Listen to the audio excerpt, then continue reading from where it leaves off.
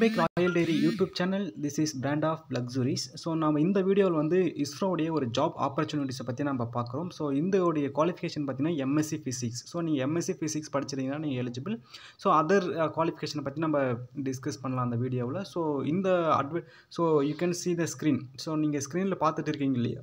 இல்லையா so government of India department of space Indian space research organisation space application centre SSC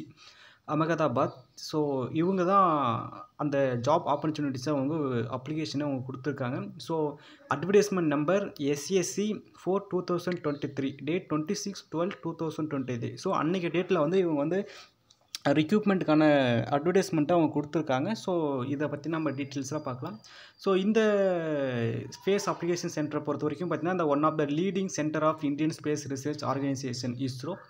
department of space government of India also very well know the all of you so இந்த space பர்ன் இந்த instrumentation for communication navigation remote sensing and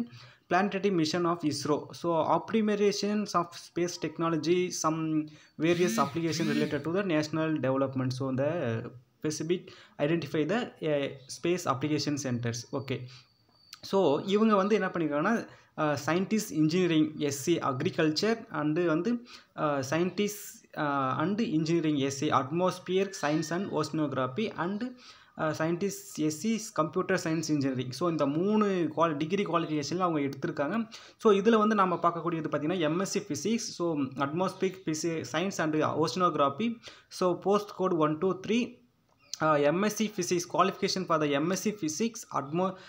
ato atmospheric science metrology ocean science are relevant with and aggregated minimum of 65 per mark in the average of the year of semester cgpa is graded in the 6.84 on 10 point scale so this is the basic uh, required qualification for other uh, post of uh, scientist engineering c ஓகேங்களா தென் BSc ஃபிசிக்ஸில் வந்து நீங்கள் வந்து BSc ஃபிசிக்ஸில் mathematics mathematics ரெண்டுமே நீங்கள் வந்து compulsory படிச்சிருக்கணும் பிஎஸ்சி லெவலில் ஸோ இதோடைய சிஜிபிஏ பாயிண்ட்டும் பார்த்திங்கன்னா சிக்ஸ் பாயிண்ட் ஃபைவ் இருக்கணும்னு அவங்க சொல்லியிருக்காங்க ஓகேங்களா ஸோ அடுத்து வந்து ஸோ போஸ்ட் கோடெல்லாம் கொடுத்துருக்காங்க எக்ஸாம் சென்டர்ஸ் கொடுத்துருக்காங்க அப்ளிகேஷன் ஃபீஸ் எல்லாமே கொடுத்துருக்காங்க ஸோ அப்ளிகேஷன் ஃபீஸ் வந்து இதில் வந்து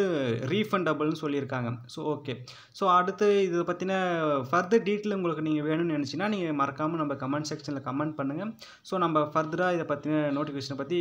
டிஸ்கஸ் பண்ணலாம் ஸோ இந்த எக்ஸாமை பொறுத்த வரைக்கும் லாஸ்ட் இயர்னு பார்த்தீங்கன்னா பதினஞ்சு ஒன்று ரெண்டாயிரத்தி இருபத்தி நாலு ஸோ